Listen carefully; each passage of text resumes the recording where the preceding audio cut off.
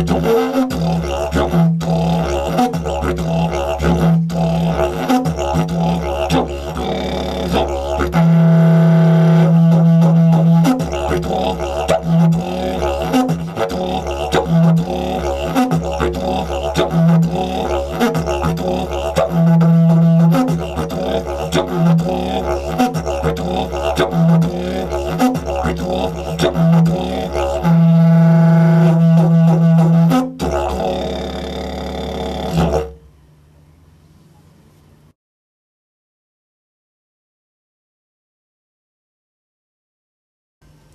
I've come up with a new technique that enables one to play uh, an octave below the normal drone note on an average size didgeridoo.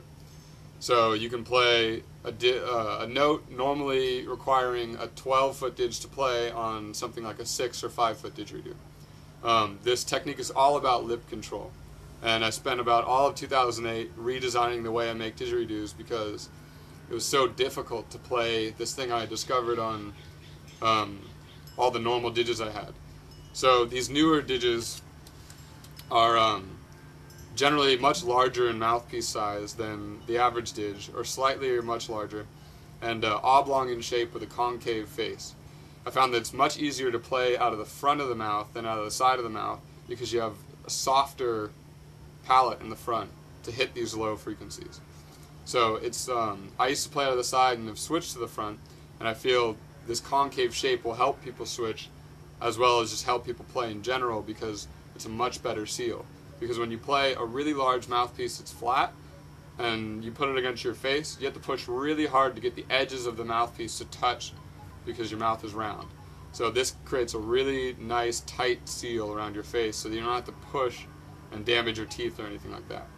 Um, so again, it's all lip control. So the normal drone be something like, and the low drone it's not a softer drone. It's still really hard, punchy, but it's it, it's a looser, flappier vibration. So not, but so.